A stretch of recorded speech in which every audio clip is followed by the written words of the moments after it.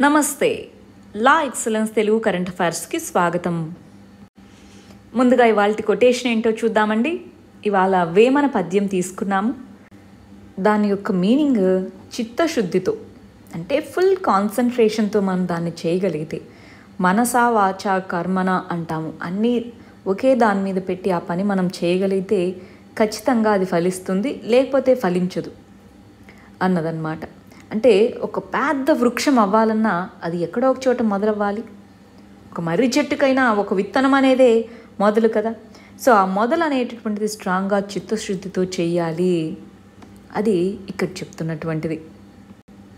మీరు అప్పుడప్పుడు గమనిస్తూ ఉంటే అండి కొటేషన్స్ అంటే చాలా వరకు ఇంగ్లీష్లో కొటేషన్స్ వివిధ రకాల ఫిలాసఫర్స్ వెస్ట్రన్ ఫిలాసఫర్స్ ఎక్కువగా కనిపిస్తూ ఉంటాయి. మీరు మనం చూసే కొటేషన్స్లో. ఎందుకు అంటే మన వాళ్ళు ఎవరు ఫిలాసఫర్స్ లేరు.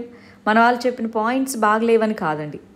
మనకి ఇంటర్నెట్లో మనం కోట్స్ వీటిని సెర్చ్ చేసినప్పుడు ఎక్కువ అవే ఉంటాయి కాబట్టి కంటెంట్ అనేది అందుకని అవి తీసుకుంటూ ఉంటాం. దేని నుంచి అయినా మనం నేర్చుకోవచ్చు అన్నది ఫండమెంటల్ ఐడియా అనమాట బట్ అప్పుడప్పుడు ఇలాంటివి టైం ఉన్నప్పుడు చదువుతూ ఉంటే చాలా బాగుంటుంది. సరే ముందుగా నిన్న ఇచ్చిన క్వశ్చన్స్కి ఆన్సర్స్ చూసి ఆ తర్వాత ఇవాళ క్వశ్చన్స్లోకి వెళ్ళిపోదామండి. గ్రేట్ ఇండియన్ బస్టర్డ్ దీనికి సంబంధించి మూడు స్టేట్మెంట్స్ ఇచ్చాం ఆ మూడిట్లో ఏది కరెక్టో చెప్పమంటున్నారు. ఇది ఇండియాకి ఎండమిక్ ఎండమిక్ అంటే ఏంటి? ఇండియాలోనే ఈ గ్రేట్ ఇండియన్ బస్టర్డ్స్ ఉంటాయి ఇంకెక్కడా ఉండవు అని. ఉండవా? ఉంటాయి. పాకిస్తాన్లో కూడా ఈ పర్టికులర్ గ్రేట్ ఇండియన్ బస్టర్డ్స్ ఇవి ఉంటాయి. సో ఇది తప్పు. రెండోది. ఫస్ట్ తప్పు. రెండోది థ్రెటెండ్ కేటగిరీలో ఉంది అని అంటున్నాం. థ్రెటెండ్ కేటగిరీ ఐయుసిఎన్లో ఉందా? లేదు. క్రిటికల్లీ ఎండేంజర్డ్ లిస్ట్లో ఉంది. మూడోది చూడండి. డీఫారెస్టేషన్ అగ్రికల్చరల్ కోసం ఎక్స్పాన్షన్ యాక్టివిటీస్ ఇవన్నీ దానికి థ్రెట్స్గా తయారయ్యాయి. అవునా కాదా? ఎస్ సో ఇక్కడ క్వశ్చన్ ఇన్కరెక్ట్ అని ఉండాలండి. ఇది ఒకసారి చూసుకోండి. ఒకటి రెండు తప్పు కాబట్టి ఆన్సర్ ఇన్కరెక్ట్ ఏది అన్నప్పుడు A one comma two only incorrect అనేది క్వశ్చన్ రెండోది న్యూక్లియర్ ఎనర్జీకి సంబంధించి ఈ కింద వాటిలో ఏది ఇన్కరెక్టో చెప్పండి అన్నారు. మనం నిన్న ఫుకుషిమా న్యూక్లియర్ రియాక్టర్ ఓవరాల్గా న్యూక్లియర్ ఎనర్జీ ఎందుకు మంచిది? ఇలాంటి కంటెక్స్లో ఈ క్వశ్చన్ ఇచ్చాం.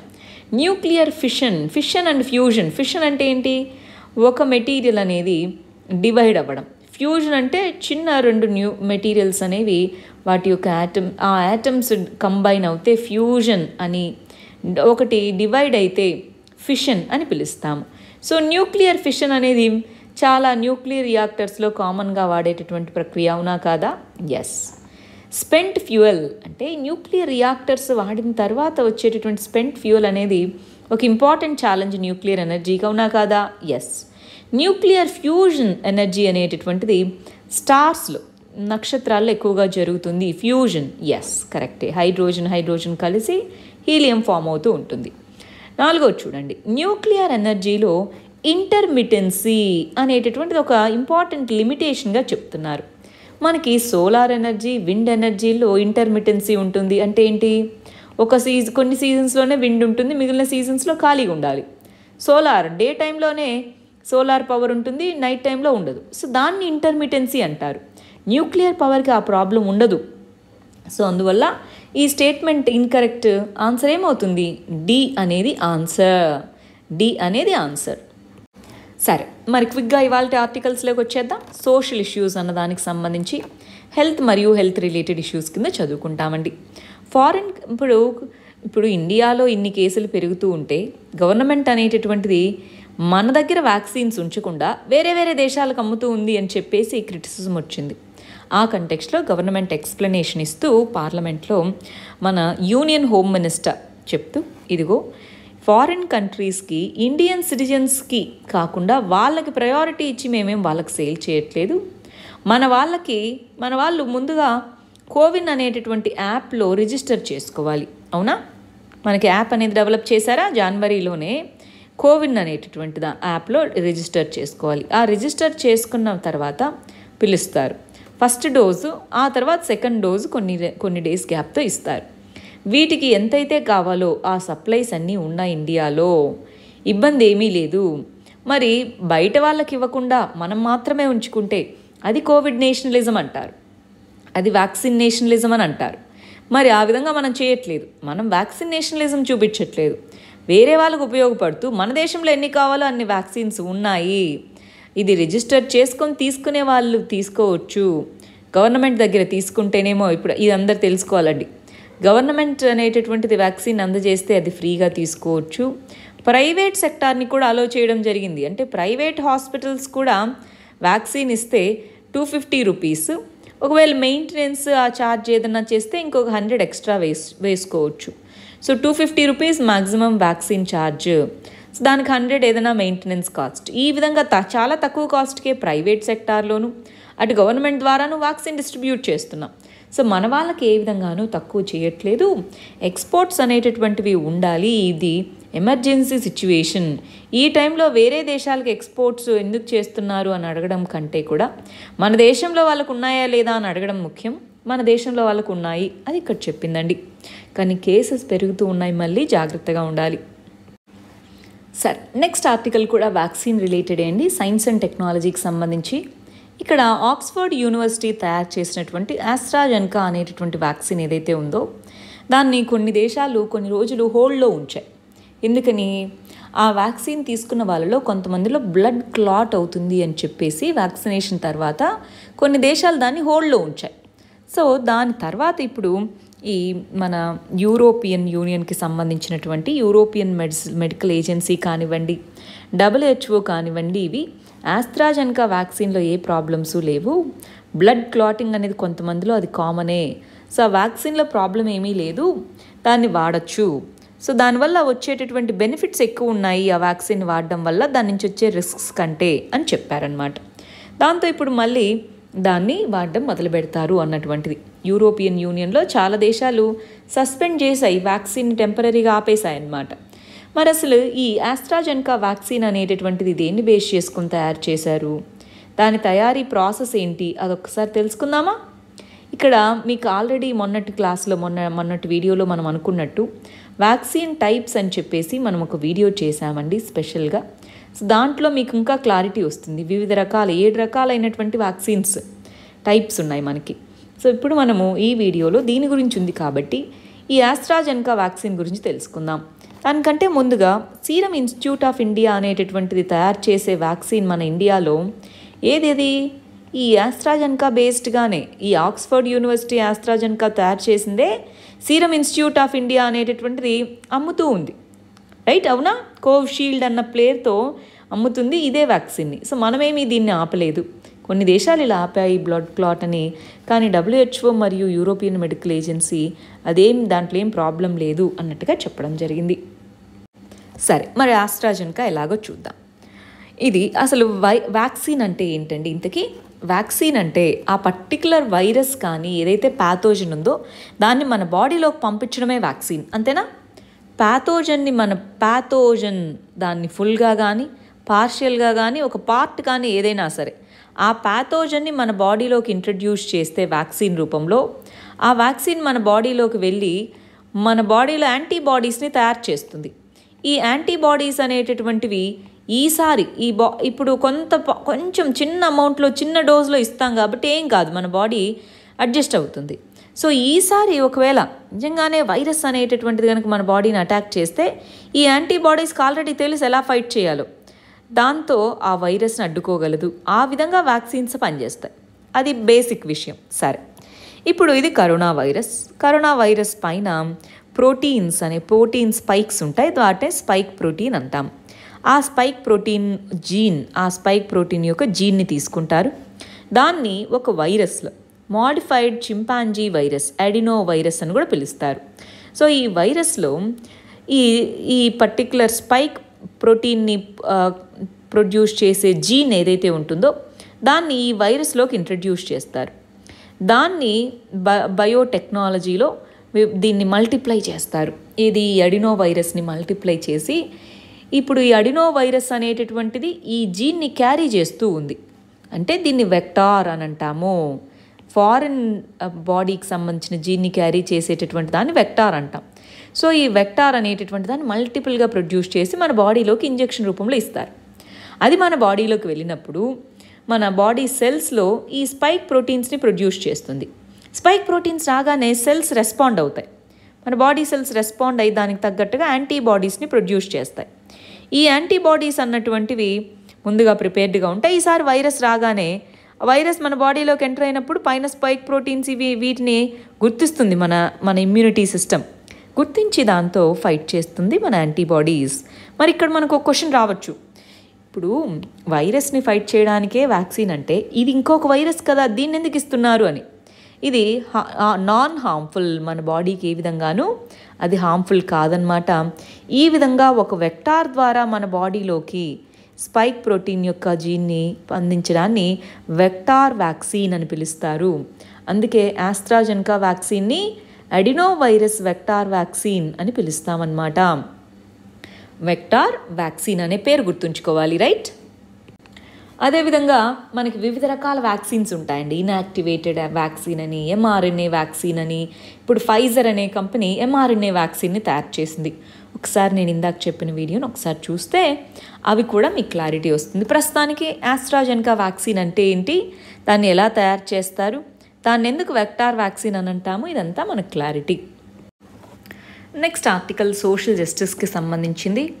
మనం నిన్న కూడా ఈ ఆర్టికల్కి సంబంధించి చదువుకున్నాం. ఎడ్యుకేషనల్ ఇన్స్టిట్యూషన్స్ ఎడ్యుకేషనల్ ఇన్స్టిట్యూషన్స్ వాటికి సంబంధించిందండి.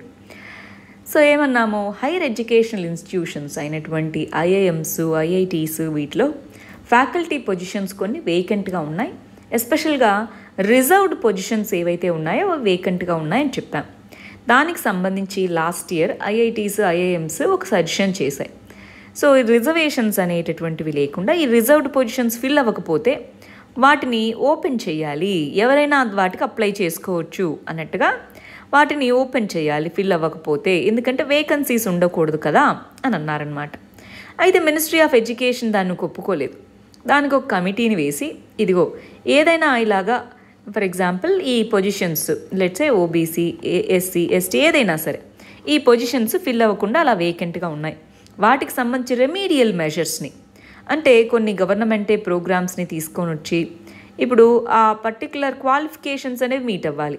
దానికి గవర్నమెంట్ అనేటటువంటిది కొన్ని రెమీడియల్ ప్రోగ్రామ్స్ని టాలెంట్ పూల్ని గుర్తించి వాళ్ళకి ట్రైనింగ్స్ ఇవ్వడము ఇలాగ చేయడం అనమాట గవర్నమెంటే ప్రోగ్రామ్స్ని తీసుకొని రావాలి ఇలాంటివి చేస్తూ ఉన్నారు. అయితే ఇక్కడ దాన్ని ఫిల్ చేయాలి ఇదంతా కూడా మనకి నార్మల్గా ఉన్న గైడ్ లైన్స్ ఇక్కడ ఈ ఆర్టికల్లో ఒక ఇంపార్టెంట్ పాయింట్ అండి రిజర్వేషన్స్కి సంబంధించి ఇది ఒక ఇంపార్టెంట్ పాయింట్గా గమనించవచ్చు మనకి ఏ కేటగిరీ తీసుకున్నా ఎస్సీ కేటగిరీ కానీ ఎస్టీ కేటగిరీ కానీ ఓబీసీ కేటగిరీ కానీ ఏ కేటగిరీ ఈబీసీ కానీ ఏ కేటగిరీ తీసుకున్నా సరే ఈ కేటగిరీస్లో వల్నరబుల్గా లెట్స్ ఏ ఎస్సీ కేటగిరీలో వల్నరబుల్గా ఉండే వాళ్ళు ఎవరు ఎస్టీ కేటగిరీలో వల్నరబుల్గా ఉండే వాళ్ళెవరు ఓబీసీ కేటగిరీలో వల్నరబుల్గా ఉండే వాళ్ళెవరు ఆ వల్ ఉన్నటువంటి మనము ఒక కేటగిరీ ఈ OBC category SC ST category ఏ కేటగిరీ తీసుకున్నా బ్యాక్వర్డ్నెస్ ఉంది అనే తీసుకున్నాం. ఆ బ్యాక్వర్డ్ క్లాసెస్లో కూడా ఇంకా మార్జినలైజ్డ్ సెక్షన్స్కి సంబంధించిన వాళ్ళు ఎవరైతే ఉంటారో వాళ్ళకి ఏ విధంగా జస్టిస్ అనేది అందించడము అది ప్రైమరీ ఫోకస్ అవ్వాలి. ఎందుకంటే మనం కొన్ని ఇప్పుడు ఈ కమ్యూనిటీ ఏదైనా తీసుకుంటే దాంట్లో వెల్ ఆఫ్ ఉన్న పీపుల్ కూడా ఉన్నారు. సో అటువంటి కంటెక్స్లో ఎస్పెషలీ ఓబీసీ అన్నామనుకోండి ఇది creamy layer non creamy layer ఉంది. అలా కాకుండా ఎస్సీ ఎస్టీ కేటగిరీ మనం తీసుకుంటే creamy layer non creamy layer లేనప్పుడు చాలా మార్జినలైజ్డ్ కమ్యూనిటీస్ ఈ ఈ కేటగిరీస్ లోపల కొంతమంది వెల్ ఆఫ్గా ఉన్న వాళ్ళు ఉన్నారు కొంతమంది బాగా మార్జినలైజ్డ్గా ఉన్న వాళ్ళు ఉన్నారు. ఆ బాగా మార్జినలైజ్డ్గా ఉన్న వాళ్ళకి ఏ విధంగా జస్టిస్ అందాలి? అది ఇప్పుడు రిజర్వేషన్స్ పాలసీ డీల్ చేయాల్సినటువంటి ఛాలెంజ్. డిఫరెన్షియేషన్ అంటారు.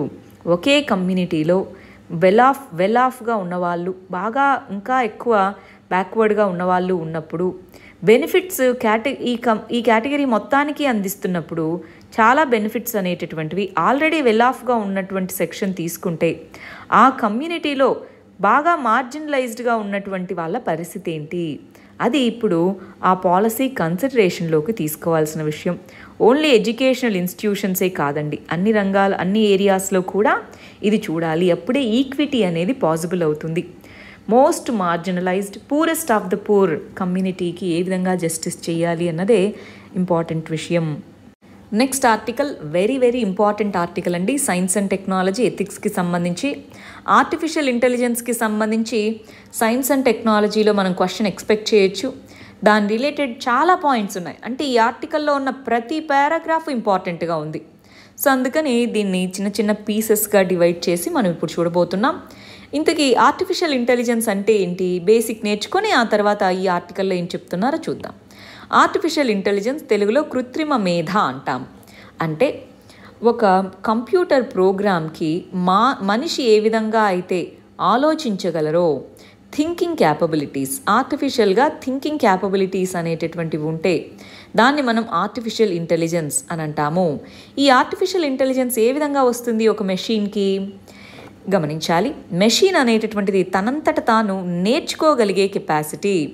దాన్ని మనం మెషిన్ లెర్నింగ్ అని అంటామండి. మెషిన్ లెర్నింగ్ క్యాపబిలిటీస్ సో ఇది అంతా మనము ఆర్టిఫిషియల్ ఇంటెలిజెన్స్ సిస్టమ్ అని అనుకుంటే ఆ ఆర్టిఫిషియల్లీ ఇంటెలిజెంట్ సిస్టంలో మళ్ళీ మనకి ఈ మెషిన్ నేర్చుకోగలిగే క్యాపబిలిటీ ఉండడం.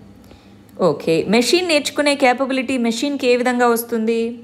దానికి డీప్ లెర్నింగ్ అనేటటువంటి వివిధ రకాలైనటువంటి టూల్స్ ఉన్నాయి. సో ఆర్టిఫిషియల్ ఇంటెలిజెన్స్ అని మనం చెప్పినప్పుడు ఎస్ థింకింగ్ క్యాపబిలిటీయే ఆ థింకింగ్ క్యాపబిలిటీస్ అనేటటువంటివి ఏ విధంగా డెవలప్ అవుతాయి అని అంటే ఆ మెషిన్కి మెషిన్ సారీ ఆ సాఫ్ట్వేర్కి మెషిన్ లెర్నింగ్ కోడింగ్ అనేది ఇవ్వడం వల్ల ఆ మెషిన్ లెర్నింగ్కి మనకి డీప్ లెర్నింగ్ అనేటటువంటిది ఉంటుంది. ఆ డీప్ లెర్నింగ్లో ఆర్టిఫిషియల్ న్యూరల్ నెట్వర్క్స్ అని అంటాం. ఇవన్నీ కూడా సాఫ్ట్వేర్ లేయర్స్ అండి. Artificial intelligence machine learning deep learning artificial neural networks ఇవన్నీ మనకి ఆర్టిఫిషియల్ ఇంటెలిజెన్స్లో ఉండే వివిధ రకాల సబ్ కాంపోనెంట్స్. ఇప్పుడున్నటువంటి ప్రపంచంలో మనకి బిగ్ డేటా డేటా అనేది హ్యూజ్గా ఉంది. సో ఈ డేటాని మోడల్గా పెట్టుకొని ఆర్టిఫిషియల్ ఇంటెలిజెన్స్ సిస్టమ్స్ని వివిధ రకాల రంగాల్లో మనం వాడుతూ ఉన్నాం. సో అటువంటి కంటెక్స్లో ఆర్టిఫిషియల్ ఇంటెలిజెన్స్ యొక్క ఉపయోగాలు ఏంటి వాటిని ఏ విధంగా రెగ్యులేట్ చేయాలి? రెస్పాన్సిబుల్ ఆర్టిఫిషియల్ ఇంటెలిజెన్స్ ఇప్పుడున్నటువంటి వాటిలో ఎందుకు అవసరమో? రెస్పాన్సిబుల్ ఏఐ యొక్క నీడ్ ఏంటి? అన్నటువంటిది ఇక్కడ డిస్కషన్ ఇప్పుడు మనం దాన్ని చూడబోతున్నాం. దీన్ని మనకి ఎస్సేగా కూడా అడగచ్చు. రెస్పాన్సిబుల్ ఏఐ అన్నది రీసెంట్గా చాలా చాలా మరి మనకి డిస్కషన్స్లో ఉన్నటువంటి టాపిక్ అనమాట అందువల్ల రైట్ చూద్దామా మరి? రెస్పాన్సిబుల్ ఏఐ అంటే ఏంటో? దానికి ఉన్న ఇష్యూస్ ఏంటో చూద్దాం. ఇక్కడ ఇందాక చెప్పినట్టు ఆర్టికల్లో చాలా పాయింట్స్ ఇంపార్టెంట్ ఉన్నాయి కాబట్టి వాటిని హైలైట్ చేస్తున్నానండి. రైట్ మనకి ఆర్టిఫిషియల్ ఇంటెలిజెన్స్ అనేటటువంటి దాంట్లో హ్యూజ్ స్కేల్లో గ్రోత్ అనేది మనం చూస్తూ ఉన్నాం. ప్రతి దాంట్లోనూ మనం దాన్ని వాడుతూనే ఉన్నామన్నమాట. ఇప్పుడు జీపీఎస్ షాపింగ్ వెబ్సైట్స్ ఇప్పుడు మనం ఒకటి సెర్చ్ చేసాము మళ్ళీ మనకి అదే అదే టైప్ ఆఫ్ వస్తువులు మనకి వివిధ రకాల అడ్వర్టైజ్మెంట్స్ రూపంలో కనిపిస్తూ ఉంటాయి. మనం ఏదన్నా ఒకటి సెర్చ్ చేస్తే దానికి సంబంధించినవి. మళ్ళీ ఇప్పుడు యూట్యూబ్లో కూడా మనం ఏదన్నా ఒక వీడియో చూసాము దానికి సంబంధించి మళ్ళీ దాని రికమెండేషన్సే అది చూపిస్తూ ఉంటుంది. అవునా? సో ఆ విధంగా ఆర్టిఫిషియల్ ఇంటెలిజెన్స్ అనేది వివిధ రకాలుగా మనకి అన్ని ఏరియాస్లోనూ రావడం మొదలుపెట్టింది. వరల్డ్లో ఇప్పుడు జపాడి అని గో అనేటటువంటి గేమ్ అన్నమాట. ఇలాంటివి చాలా చాలా లాజికల్ స్టెప్స్ చాలా ఉంటాయి. అలాంటి కాంప్లెక్స్ గేమ్స్లో కూడా ఛాంపియన్స్ని కూడా ఛాంపియన్స్ని సైతం ఓడించింది. ఆర్టిఫిషియల్ ఇంటెలిజెన్స్ సాఫ్ట్వేర్స్ ఎలా ఓడిస్తాయి? వాటికై అవి లాజికల్ స్టెప్స్ అవి నేర్చుకుంటాయి అన్నమాట వివిధ రంగాల్లో వీటిని ఆల్రెడీ వాడుతూ ఉన్నాం. ఫర్ ఎగ్జాంపుల్ మనము క్రాప్స్ అగ్రికల్చర్లో చూస్తే క్రాప్ ఈల్డ్స్ని పెంచడంలో కానీ బిజినెస్ ప్రోడక్టివిటీ ఏ విధంగా చేయగలుగుతుంది చూడండి. క్యాన్సర్ డిటెక్షన్ దీంట్లో కానివ్వండి. ఓవరాల్గా డెసిషన్ మేకింగ్ ఎక్కడైతే కావాలి? ఇప్పుడు ఏ క్రాప్ వేయాలి? ఎంత ఫర్టిలైజర్ వేయాలి? ఇదంతా చెప్పగలదు. సో వాటన్నిటి వల్ల దీని యొక్క ఎకానమీ పెరుగుతూ వస్తూ ఉంది. రీసెంట్గా గూగుల్ అనేటటువంటిది రెండు వేల ఆరు వందల ఏరియాస్లో ఆర్టిఫిషియల్ యూ ఆర్టిఫిషియల్ ఇంటెలిజెన్స్ యొక్క అప్లికేషన్ ఉంది అన్నట్టుగా గుర్తించడం జరిగింది. ఈ ఆర్టిఫిషియల్ ఇంటెలిజెన్స్ను ఉపయోగించి సస్టైనబుల్ డెవలప్మెంట్ గోల్స్ మనకి పదిహేడు గోల్స్ ఉన్నాయి. వాటిలో చాలా వరకు మనము సస్టైనబుల్ డెవలప్మెంట్ గోల్స్లో టార్గెట్స్ని అచీవ్ చేయగలము. అయితే చూడండి. కానీ ఆర్టిఫిషియల్ ఇంటెలిజెన్స్ అనేటటువంటిది ఆల్ గుడ్డా లేదు. కొన్ని ప్రాబ్లమ్స్ కూడా ఉన్నాయి దీంట్లో. అవి ఏమేంటి? ఇప్పుడు ఆర్టిఫిషియల్ ఇంటెలిజెన్స్ని ఉపయోగించాలి అంటే చాలా హ్యూజ్ స్కేల్లో పవర్ అనేది కావాలి. So power hungry carbon footprint ఎలక్ట్రిసిటీని ఉత్పత్తి చేయాలా? Carbon footprint digital exclusion అంటే ఎవరికైతే ఆల్రెడీ డిజిటల్ వీటి మీద అవగాహన ఉందో వాళ్ళకే ఇది బెనిఫిట్ అవుతుంది. సో డిజిటల్ ఎక్స్క్లూజన్ అనేటటువంటిది. సో తర్వాత జాబ్స్ అనేటటువంటి పోవచ్చు దీనివల్ల. ఆర్టిఫిషియల్ ఇంటెలిజెన్స్ అనేటటువంటి దానివల్ల రీస్కిల్లింగ్ చేయకపోతే జాబ్స్ అనేవి పోయినట్టే. ప్లస్ కొన్ని కంపెనీస్కి మొనోపలి ఇప్పుడు మనం చూస్తే మన ఆల్- గూగుల్ అమెజాన్ యాపిల్ ఫేస్బుక్ ఈ ఈ ఐదు కంపెనీస్ సారీ నాలుగు కంపెనీస్ యొక్క వర్త్ ఎంత? ఐదు ట్రిలియన్ డాలర్స్ మన ఇండియన్ ఎకానమీలో జీడిపి సైజ్ ఎంత? మూడు ట్రిలియన్ డాలర్స్ అంటే ఒక నాలుగు కంపెనీస్ యొక్క ఓవరాల్ వాటి యొక్క వాల్యుయేషన్ మన దేశానికి చూడండి సుమారుగా రెండింతలు ఉంది వాళ్ళ వాళ్ళ దగ్గర మనీ అంటే ఇంత హ్యూజ్ స్కేల్లో టెక్నాలజీ కంపెనీస్ దగ్గర మనీ ఉంది. అది ఎంత డామినేట్ చేయగలదు? అవునా? సో ఇంకొకటి మనకు రీసెంట్గా ఆర్టిఫిషియల్ ఇంటెలిజెన్స్ సిస్టమ్స్ అనేటటువంటివి రేషియల్ డిస్క్రిమినేషన్ రేషియల్ డిస్క్రిమినేషన్ చూపించడము మైనారిటీస్ వీళ్ళ మీద. సో ఒక రిక్రూట్మెంట్ ఆర్టిఫిషియల్ ఇంటెలిజెన్స్ సాఫ్ట్వేర్ని గుర్తిస్తే అది మేల్ క్యాండిడేట్స్కి ప్రిఫరెన్స్ ఇవ్వడము. ఎందుకని? డేటాని బట్టి ఆర్టిఫిషియల్ ఇంటెలిజెన్స్ అనేది వర్క్ అవుతుందండి. సో మన సొసైటీల్లో మనం మన మనం ఇంతకుముందు ఏ విధంగా బిహేవ్ చేశామో ఆ డేటాని బట్టి ఆర్టిఫిషియల్ ఇంటెలిజెన్స్ కూడా వర్క్ అవుతుంది. అంటే ఏఐ ఏమీ రేషనల్గా ఉండాల్సిన అవసరం లేదు. ఏఐ కూడా డిస్క్రిమినేటరీగా ఉండొచ్చు. టెక్నాలజీలో అడిక్షన్ అనేటటువంటిది పెరిగిపోతూ ఉంది. ఇప్పుడు చూడండి కేంబ్రిడ్జ్ అనలిటికా ఇది ఒక ఆర్టిఫిషియలీ ఇంటెలిజెంట్ డిజిటల్ టూలేనా సో అదేం చేసింది? మన యొక్క డేటాని తీసుకొని ఓటర్ ప్రిఫరెన్సెస్ని ఓటర్ ప్రిఫరెన్సెస్నే మార్చింది. సో అంటే ఏఐ అనేది నెగిటివ్ సైడ్ కూడా దానికి ఉంది అని అనుకోవచ్చా? చూడండి. టే అనేటటువంటిది ట్విట్టర్ అనేది క్రియేట్ చేసిన ఒక చాట్ బోట్ టే అనేటటువంటిది సో దాన్ని దాని దగ్గర ఉన్నటువంటి మెటీరియల్ అంటే దానికి ఇంతకుముందు మొత్తం అది చదువుతుందండి. ట్విట్టర్లో ఉండే ట్వీట్స్ అన్నీ చదివి వాటిని బట్టి మెషిన్ తనంతట తానే నేర్చుకుందన్నాం కదా నేర్చుకుంటుందన్నాం కదా. దాన్ని బట్టి రేషియల్ కమెంట్స్ ఇవి చేయడం మొదలుపెట్టింది రేషియల్ కంటెంట్ని బట్టి. సో అంటే ఏఐ అనేది ఆబ్జెక్టివ్గా ఉండకపోవచ్చు అన్నటువంటిది మనకు అర్థమైంది. సో అయితే ఏం చేయాలి? ప్రైవసీ ఇష్యూస్ అనేటటువంటివి ఉన్నాయి దాన్ని డీల్ చేయాలి. దాంతోపాటు రీసెంట్గా మనకి UN secretary general digital cooperation road map on digital cooperation అనేటువంటి స్పీచ్లో ఆర్టిఫిషియల్ ఇంటెలిజెన్స్ అనేది సొసైటీ మొత్తాన్ని ముందుకు తీసుకెళ్ళే విధంగా ఉండాలి. సో ఆర్టిఫిషియల్ ఇంటెలిజెన్స్ అనేది ట్రస్ట్ వర్తీగా ఉండాలి. హ్యూమన్ రైట్స్ని రెస్పెక్ట్ ఇవ్వాలి సేఫ్గా ఉండాలి సస్టైనబుల్గా ఉండాలి పీస్ని ప్రమోట్ చేయాలి. అటువంటి ఏఐ అనేది మనకి ఇంపార్టెంట్. సో దానికోసం వివిధ దేశాలు అనేటటువంటివి వివిధ రకాల మోడల్స్ని ప్రయత్నిస్తూ ఉన్నాయి. నీతి ఆయోగ్ అనేది రెస్పాన్సిబుల్ ఏఐ ఫర్ ఆల్ అనే స్ట్రాటజీని తీసుకొని వచ్చిందండి. రెస్పాన్సిబుల్ ఏఐ ఫర్ ఆల్ అని చెప్పేసి. దాంట్లో ఆర్టిఫిషియల్ ఇంటెలిజెన్స్కి సంబంధించి సెల్ఫ్ రెగ్యులేషన్తో పాటు గవర్నమెంట్ సైడ్ నుంచి కూడా ఒకవైపు ఎంకరేజ్మెంట్ ఇస్తూనే ఇంకొక వైపు ఏ విధంగా ద ఎథికల్ గైడ్లైన్స్ అనేవి పాటిస్తుందా లేదా అనేది ఇంపార్టెంట్. సో సెల్ఫ్ రెగ్యులేషన్తో పాటు కొన్ని రకాల ఎథికల్ గైడ్లైన్స్ అనేవి ఏఐకి సెట్ చేయాలి. ఒక బౌండరీ అనేటటువంటిది ఉండాలి. అది నేర్చుకోవాలండి. ఈ రెస్పాన్సిబుల్ ఏఐ అనేది నీతి ఆయోగ్ అనేటటువంటిది తీసుకొని వచ్చినటువంటి ఒక ఇనిషియేటివ్గా మనం చెప్పొచ్చు. వెరీ ఇంపార్టెంట్ ఆర్టికల్ దీని మీద నేను మెయిన్స్ క్వశ్చన్ ఇస్తున్నాను. ఇప్పుడు మనం చదివిన పాయింట్స్ అండర్లైన్ చేసిన పాయింట్స్ ఏవైతే ఉన్నాయో వాటిని చూసుకొని ఒకసారి నీట్గా ఆన్సర్ రాయడానికి ప్రయత్నించండి. నెక్స్ట్ ఆర్టికల్ ఎకానమీకి సంబంధించి. ఫినాన్షియల్ క్రైమ్స్ అన్న దానికి సంబంధించి ఇది లాస్ట్ టూ డేస్గా కూడా చదువుతూ ఉన్నాం. ఫ్యూజిటివ్ ఎకనామిక్ అఫెండర్ ఎఫ్ఈఓ అంటున్నాం. ఈ ఫ్యూజిటివ్ ఎకనామిక్ అఫెండర్కి సంబంధించి రీసెంట్గా నీరవ్ మోదీని ఇండియాకు పంపించడానికి లండన్ కోర్ట్ అనేది ఒప్పుకుంది. లండన్లో వెళ్ళి అతను ఉంటున్నారు. నీరవ్ మోడీ అనేటటువంటి వ్యక్తి పంజాబ్ నేషనల్ బ్యాంక్ ఏదైతే ఉందో దానికి సంబంధించి దానికి కొన్ని కొన్ని వేల కోట్లు ఎగగొట్టడం జరిగిందనమాట సో ఫేక్ డాక్యుమెంట్స్ అవి చూపించేసి. సో ఈ కంటెక్స్లో అతను ఇండియా నుంచి పారిపోయాడు. రెండు వేల పద్దెనిమిదిలో ఒక చట్టాన్ని తీసుకొని వచ్చాము.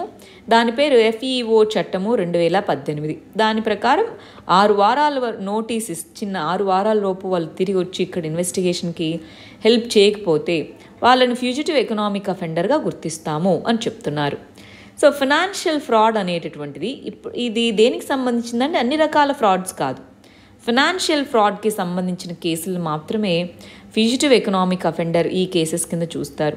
ఫినాన్షియల్ ఫ్రాడ్కి సంబంధించి డిజిటైజేషన్ చేయడం అనేటటువంటిది ఎప్పటికప్పుడు రెడ్ ఫ్లాగ్స్ ఏదైనా ఒక చిన్న క్లూ రాగానే దాని మీద వెంటనే రియాక్ట్ అవ్వగలగాలి. ఇప్పుడు చూడండి మనకి విజయ్ మాల్యా కానీ నీరవ్ మోదీ కానీ వీళ్ళందరి దగ్గర ఎన్ని వేల కోట్లు మనీ అనేటటువంటిది బ్యాంకులకు వీళ్ళు అప్పున్నారు.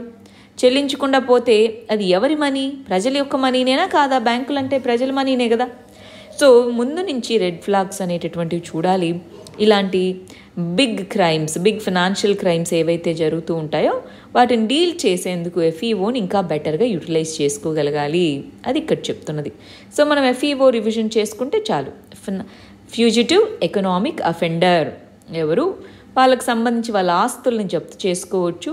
సిక్స్ వీక్స్ కోర్ట్ అనేది నోటీస్ జారీ చేసిన సిక్స్ వీక్స్ లోపల తిరిగి రాకుంటేనే ఫిజిటివ్ ఎకనామిక్ అఫెండర్ వాళ్ళ యొక్క ఆస్తులని ప్రాపర్టీని సీజ్ చేయొచ్చు. కేసు నడుస్తూ ఉన్నప్పుడే ప్రాపర్టీని సీజ్ చేసి సేల్ చేసి దాన్ని ఎవరికైతే చెల్లించాలో వాళ్ళకి చెల్లించవచ్చు అనమాట ఎఫ్ఈఓగా గుర్తిస్తే. నెక్స్ట్ ఆర్టికల్ ఇంటర్నేషనల్ రిలేషన్స్కి సంబంధించి ఇండియా యుఎస్ఏ పార్ట్నర్షిప్ దీనికి సంబంధించి. ఇండస్ట్రీ పర్స్పెక్టివ్లో చూసుకుంటే మనము ఓవరాల్గా ఇండియా మరియు యుఎస్ఏ మధ్యలో ట్రేడ్ అనేటటువంటి చూసుకుంటే లాస్ట్ కొన్ని సంవత్సరాలుగా ఏడు పాయింట్ ఏడు శాతం గ్రోత్ అనేటటువంటిది ఉంది. గ్రోత్ అనేటటువంటిది. సో ప్రస్తుతానికి నూట నలభై ఆరు బిలియన్ డాలర్స్ ట్రేడ్ అనేటటువంటి జరుగుతూ ఉంది. బైలేటరల్గా మన రెండు దేశాల మధ్యలో. దాన్ని ఐదు వందల బిలియన్ డాలర్స్కి తీసుకెళ్ళాలి రెండు వేల ముప్పై ఆరు కల్లా అన్నది టార్గెట్ అన్నమాట. సో ఈ కంటెక్స్లో మరి ఏ ఏరియాస్లో ఇండియా యుఎస్ఏ మధ్య ఎకనామిక్ కోఆపరేషన్? ఇక్కడ ఇంకొక విషయం అండి సో మన లార్జెస్ట్ ఎక్స్పోర్ట్ డెస్టినేషన్ ఇండియా యొక్క ఇండియా యొక్క లార్జెస్ట్ ఎక్స్పోర్ట్ డెస్టినేషన్ మనం ఎక్కువ ఎక్స్పోర్ట్స్ ఎవరికి చేస్తున్నాం? యుఎస్ఏనే లార్జెస్ట్ ఎక్స్పోర్ట్ డెస్టినేషన్ యుఎస్ఏ అన్నమాట. సరే. మరి ఏ విధంగా ఎకనామిక్ కోఆపరేషన్ మన రెండు దేశాల మధ్య బిల్డ్ చేసుకోవచ్చు? హెల్త్ కేర్ హెల్త్ కేర్కి సంబంధించిన దాంట్లో ఎస్పెషలీ పేటెంట్స్ ఐపీఆర్స్ అంటాం. ఐపీఆర్స్ వీటన్నిటిలో ఇండియా యుఎస్ఏ కోఆపరేషన్ కానీ ట్రేడ్ వివిధ రకాల గూడ్స్ సర్వీసెస్కి సంబంధించినటువంటి ట్రేడ్లో కానీ ప్రొఫెషనల్స్ మన వాళ్ళు అక్కడికి వెళ్తున్న వాళ్ళు మొబిలిటీ ఆఫ్ ప్రొఫెషనల్స్ కానీ డిఫెన్స్ ఎక్స్పోర్ట్స్. ఇప్పుడు స్లోగా రష్యా అనేటటువంటిది ఇప్పుడు మనకి నంబర్ వన్ డిఫెన్స్ ఎక్స్పోర్టర్. అది కాకుండా యుఎస్ఏ యొక్క రోల్ పెరుగుతూ వెళ్తూ వస్తూ ఉంది. సో డిఫెన్స్ ఎక్స్పోర్ట్ కానీ SME small medium enterprises micro తీస్తాం స్మాల్ అండ్ మీడియం ఎంటర్ప్రైజెస్ అనేవి యుఎస్ఏలో ఆపర్చునిటీస్ అనేటటువంటివి యుఎస్ఏ ఆపర్చునిటీస్ అనేటటువంటివి. లేదా అక్కడి నుంచి వచ్చి ఇక్కడ ఇన్వెస్ట్మెంట్ ఆపర్చునిటీస్ అనేవి వీటిలో ఎక్కువగా ఉన్నాయి. క్లీన్ ఎనర్జీ ఈ ఏరియాలో రెండు దేశాల కోఆపరేషన్ కానీ డిజిటల్ ఎకానమీ డిజిటల్ సర్వీసెస్ వీటిలో రెండు దేశాల కోఆపరేషన్ సో ఈ ఏడు ఏరియాస్లోనూ సిగ్నిఫికెంట్గా రెండు దేశాలు ఒకదా ఒక కంట్రీలో ఇంకొకటి ఇన్వెస్ట్ చేసుకోవడానికి ఎకనామిక్ ట్రాన్సాక్షన్స్ జరపడానికి మరి స్కోప్ అనేటటువంటిది ఉంది. ప్రస్తుతం ఉన్నటువంటి టార్గెట్ నుంచి ప్రస్తుతం నూట నలభై ఆరు బిలియన్ డాలర్స్ ఏదైతే ట్రేడ్ జరుగుతుందో అది ఐదు వందల బిలియన్ డాలర్స్గా నెక్స్ట్ వచ్చే పదహైదు సంవత్సరాల్లో అవ్వాలి. రెండు వేల ముప్పై ఆరు అంటే నెక్స్ట్ వచ్చే పదహైదు సంవత్సరాలు. నెక్స్ట్ పదహైదు సంవత్సరాలు అవ్వాలి అంటే ఈ మేజర్ ఏరియాస్ మీద రెండు దేశాలు ఫోకస్ చేయాలి. అది ఇక్కడ చెప్తున్నారండి. Next article Mullaperiyar dam. Mullaperiyar డ్యామ్కి సంబంధించి సుప్రీంకోర్టు అనేటటువంటిది తమిళనాడుని. ఇదిగో మీరు ముల్లపెరియార్ డ్యామ్ అనేటటువంటి దానికి సంబంధించి ఒక సూపర్వైజరీ కమిటీ అనేటటువంటి మేము అపాయింట్ చేశాం. వాళ్ళకి దీనికి సంబంధించిన డేటా అనేటటువంటిది ఇవ్వండి. సో ఎంత వాటర్ లెవెల్ అనేటటువంటిది ఉంది? ఏ ఏ టైంలో మీరు ఓపెన్ చేస్తున్నారు? వాట్ గేట్స్ అనేవి ఓపెన్ చేస్తారు కదా? ఇది ఎంతవరకు ఓపెన్ చేస్తారు? ఎంత సేఫ్టీ ఉంది? ఏంటి? ఆ డేటా మొత్తాన్ని మేము అపాయింట్ చేసిన కమిటీకి ఇవ్వండి. రూల్ కర్వ్ అంటే ఇదే అన్నమాట. ఎప్పుడు రిలీజ్ చేస్తున్నారు? ఎంత స్టోరేజ్ ఉంది? ఇదంతా రూల్ కర్వ్ అంటారు. దాన్ని ఈ ముల్లపెరియార్ డ్యామ్కి సంబంధించి మీరు వాళ్ళకి ఇవ్వండి అన్నట్టుగా చెప్తుంది. అసలు ఏంటి ఇక్కడ గొడవ ఏంటి? అదొకసారి చూద్దామా? సరే మరి ముల్లపెరియార్ డ్యామ్ యొక్క హిస్టరీ ఏంటో ఒకసారి క్విక్గా చూసేసి సుప్రీంకోర్టు ఏం చెప్తుందో చూద్దామండి. మనకి పం పం పద్దెనిమిది వందల తొంభై ఐదులో ఈ డ్యామ్ని కన్స్ట్రక్ట్ చేశారు. ఎప్పుడు? ఇది బ్రిటిష్ వాళ్ళు ఉన్న టైంలో అంతేనా? సో అప్పుడు ఈ ముల్లపెరియార్ అనేటటువంటి డ్యామ్ని కన్స్ట్రక్ట్ చేశారు. ఆ డ్యామ్ నుంచి వాటర్ అనేటటువంటి దాన్ని కేరళ అప్పట్లో ట్రావెన్ కోర్ కింగ్డమ్ అనేవాళ్ళు. సో అక్కడి నుంచి ఇదండి. గ్రీన్ కలర్లో కనిపిస్తుంది ఇక్కడి నుంచి ఇదిగో ఇదందా? సో ఈ ముల్ల పెరియార్ అనే డ్యామ్ పెరియార్ అనే నది మీద ఉంది. సో ఈ పెరియార్ నది నుంచి ఇటు డ్యామ్ నుంచి వాటర్ ఇలా వెళ్తుందన్నమాట. ఇటు వెళ్ళి వైగాయ్ డ్యామ్ అనించి వైగా అనే అనే రివర్ గుండా ఇలా వెళ్తుంది. మధురై ఈ ప్రాంతాల గుండా ఇది ఫ్లో అవుతుంది. కెనాల్ అనేటటువంటిది. సో ముళ్ళ పెరియార్ డ్యామ్ నుంచి వచ్చే నీళ్ళు ఎవరు వాడుకుంటున్నారు? తమిళనాడు వాడుకుంటుంది. కానీ ముళ్ళ పెరియార్ డ్యామ్ ఎక్కడుంది? కేరళలో ఉంది. సో అప్పట్లో ఈ పంతొమ్మిది వందల ఎనభై ఐదులో డ్యామ్ కట్టినప్పుడు తొమ్మిది వందల తొంభై తొమ్మిది సంవత్సరాలు గమనించాలండి. తొమ్మిది వందల తొంభై తొమ్మిది సంవత్సరాలు లీజ్కి ఇస్తున్నాము అని చెప్పింది. అప్పట్లో ట్రావెన్కోర్ దగ్గర బ్రిటిష్ గవర్నమెంట్ అనేటటువంటిది బ్రిటిష్ ఇండియా అంటాం. బ్రిటిష్ ఇండియా అప్పుడు అప్పుడు ఈ మద్రాస్ ప్రెసిడెన్సీ అనేవాళ్ళం దాన్ని. తొమ్మిది వందల తొంభై తొమ్మిది సంవత్సరాల వరకు లీజ్ కన్నారు సరే ఇప్పుడు గొడవ ఏంటి? కేరళ ఏమంటుందంటే ఆ డ్యామ్ పాతదైపోయింది. సో అక్కడ న్యూ డ్యామ్ కట్టండి కొత్త డ్యామ్ కట్టండి.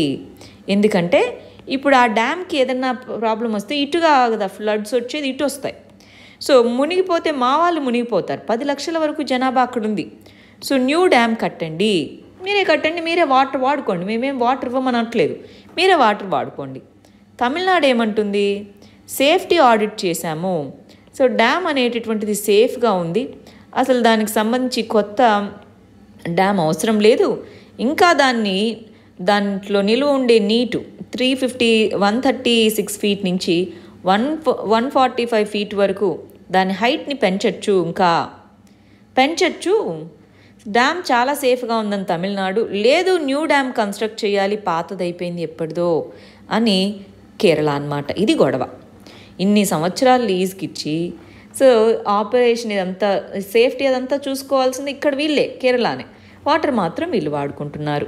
సో ఎంతవరకు జస్టిఫైబుల్ ఏంటి అని సుప్రీంకోర్టుకి వెళ్ళారు సుప్రీంకోర్టు ఒక ఎంపవర్డ్ కమిటీ చెప్పింది.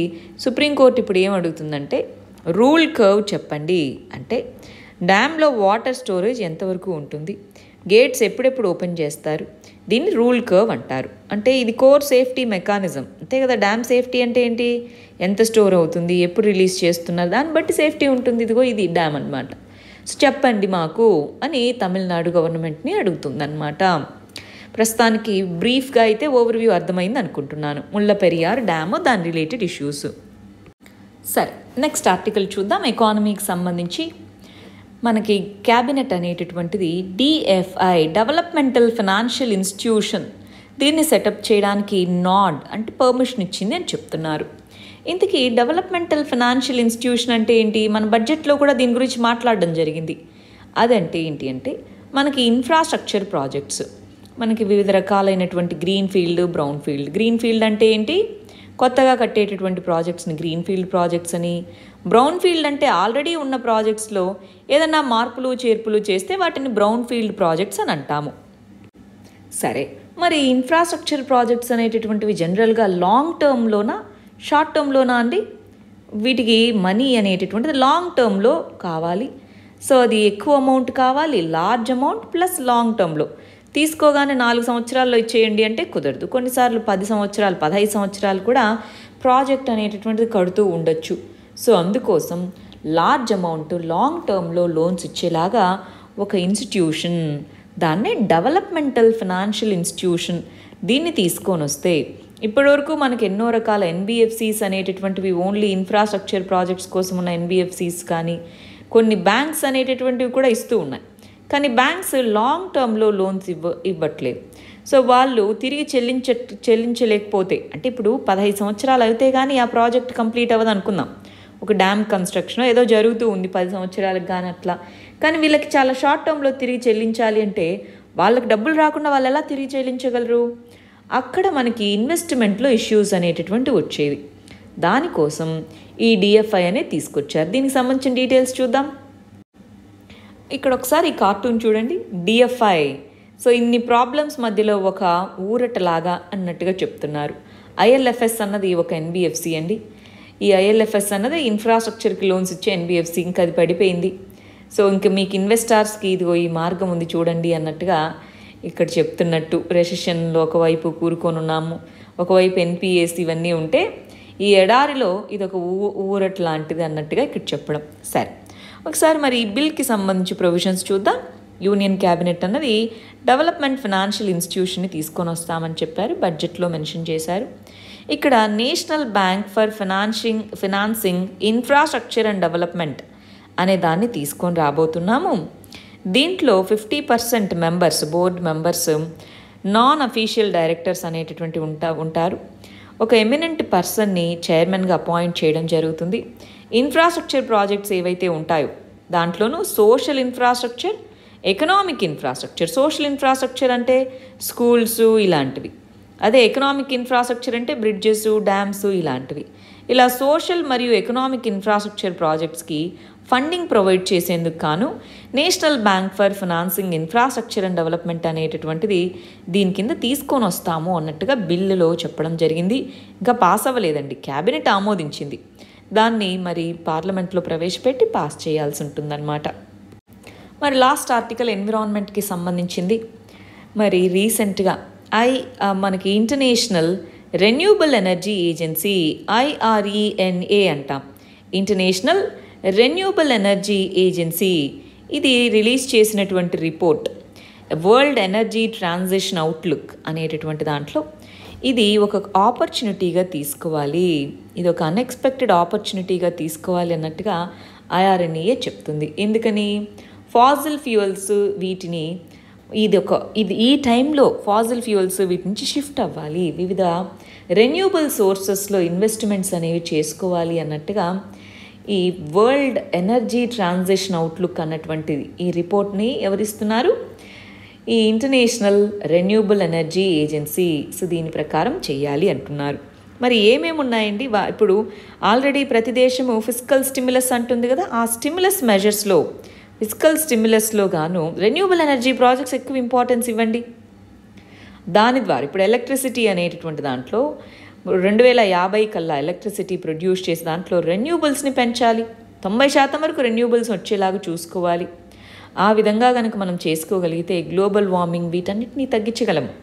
ఇన్నోవేషన్స్ అనేవి సోలార్లో ఇన్నోవేషన్స్ ఇన్నోవేషన్స్ మీద ఇన్వెస్ట్ చేయండి విండ్ పవర్లో ఇన్నోవేషన్స్ వీటి మీద ఇన్వెస్ట్ చేయండి. అలా చేయడం ద్వారా ప్యారిస్ అగ్రిమెంట్ వీటి కమిట్మెంట్స్ని ఫుల్ఫిల్ చేయొచ్చు. ఇప్పుడున్న ఎకనామిక్స్ స్లంప్ నుంచి బయటికి రావచ్చు. పొల్యూషన్ని వీటన్నిటిని తగ్గించవచ్చు ఇది ఇక్కడ ఐడియా అన్నమాట. రైట్. మరి మనం నిన్న ఇచ్చిన క్వశ్చన్కి మన వాళ్ళు ఎలా ఆన్సర్ రాశారో చూద్దాం. Question ఏమిచ్చాము? Critically analyse critically analyse. Nuclear energy sustainable green ఎనర్జీగా దాని యొక్క యూజ్ని క్రిటికల్లీ అనలైజ్ చేయండి. అంటే ఫస్ట్ దాని యూజెస్ ఏంటో చెప్పాలి కొద్దిగా. చూడండి ఇక్కడ ఎలా రాశారో చూద్దాం. సో ఎన న్యూక్లియర్ ఎనర్జీ అంటే ఏమిటి? దాని ఉపయోగాలు ఏమిటి? దాని నష్టాలు ఏమిటి? నష్టాల గురించి ఎక్కువ రాయాలి. ఎందుకంటే క్రిటికల్లీ అనలైజ్ అన్నాం కాబట్టి పాజిటివ్ పాయింట్స్ కంపల్సరీగా రాసి ఆ తర్వాత క్రిటికల్ పాయింట్స్ ఎక్కువ రాయాలి. గుడ్. సో ఇక్కడ ఎగ్జాంపుల్స్ రాయడం అనేది ఇంపార్టెంట్ అండి. సో ఇంట్రడక్షన్లో ఇలాంటివి ఎప్పుడన్నా రాసుకున్నప్పుడు ఇండియాలో న్యూక్లియర్ ఎనర్జీ పర్సంటేజ్ ఎంత ఉంది అలాంటివి మెన్షన్ చేసుకుంటే ఇంకా బాగుంటుంది. రైట్. సస్టైనబుల్ ఎనర్జీ అనేటటువంటిది ఏంటి? న్యూక్లియర్ ఎనర్జీ వల్ల కొన్ని ఉపయోగాలు ఉన్నాయి కానీ దాంతోపాటు నష్టాలు ఎక్కువగా ఉన్నాయి. వాటిని రాశారు. గుడ్. బాగా రాశారు. న్యూక్లియర్ ఎనర్జీ అంటే ఏమిటి? దాని యొక్క ఉపయోగాలు ఏమిటి? దాని యొక్క ఉపయోగాలు ఏంటి అన్నవే మీరు రాశారండి రైట్? కానీ క్రిటికల్లీ అనలైజ్ అన్నప్పుడు దాని యొక్క నెగిటివ్ సైడ్ అనేది మీరు ఎక్కువ హైలైట్ చేయాలి.